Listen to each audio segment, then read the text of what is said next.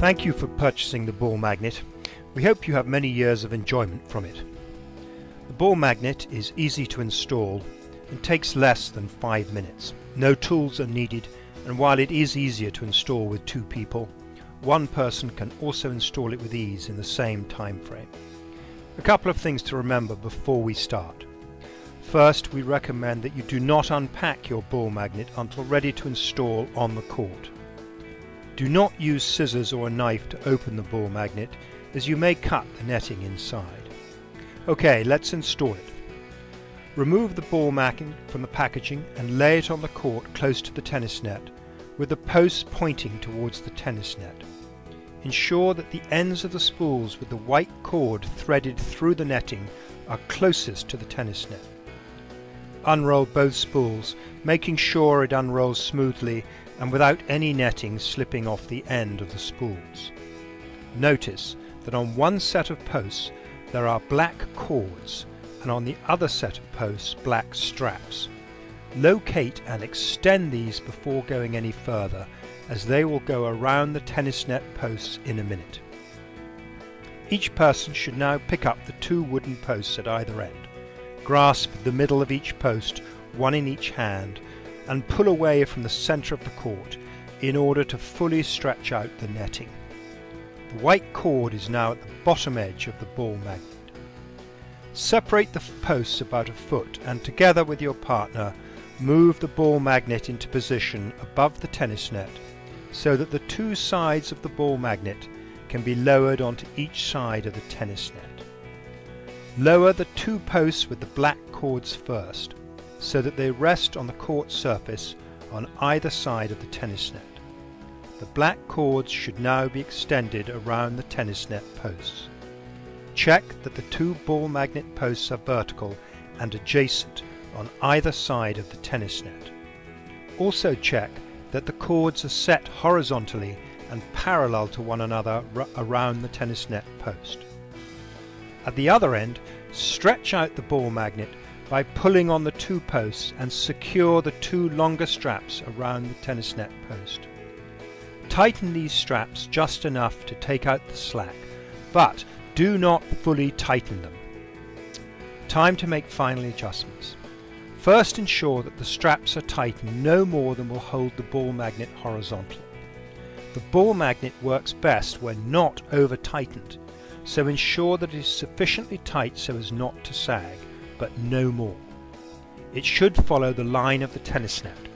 If it is too tight, the ball magnet will not work optimally and balls may bounce back into the court. Now ensure each side of the ball magnet are at the same height and each approximately 9 inches from the top of the tennis net. You will notice that each side is connected by three thin cords or tethers that hang over the tennis net. These cords can be pulled up or down to help adjust the height of each side of the ball magnet. The center tether also includes a cord lock tensioner.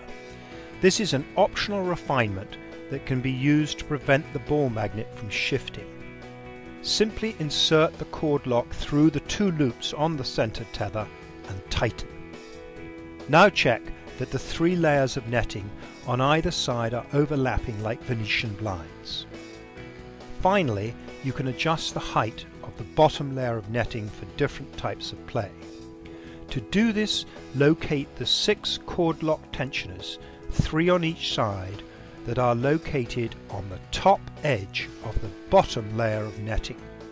Simply squeeze the tensioner and either pull or release the line to adjust the height of the bottom edge. For drilling sessions, cardio tennis and when using ball machines, in other words when dozens of balls are in play, we recommend that the ball magnet is set approximately 2 to 2.5 inches above the court surface. This allows the balls to be retained approximately 1 to 3 feet from the tennis net. For match play, we recommend the bottom edge be set 1 to 1.5 inches above the court surface. This will trap most balls right at the bottom of the tennis net. Okay, you are ready to play. A couple of tips on maintenance. For the first two few days of play, check the tension on the ball magnet, as the tensioning cords and straps may stretch a little during initial use. As with all tennis nets, it will also require the occasional check and adjustment. From time to time, we recommend that you also check the tension on the net and the two main tensioner straps. Again, do not over tighten the ball magnet. Also check the height of the ball magnet above the court surface. Remember 2 to 2.5 inches is ideal for most types of play, 1 to 1.5 inches for match play. Check the three layers of netting on either side continue to overlap. And finally, check the height on each side is the same. Beyond that, the ball magnet can be left in place continuously, including for match play. We do recommend that you remove it for winter and store it in the included storage bag. To remove the ball magnet, simply loosen the straps at the end post and lift the ball magnet up and off the tennis net.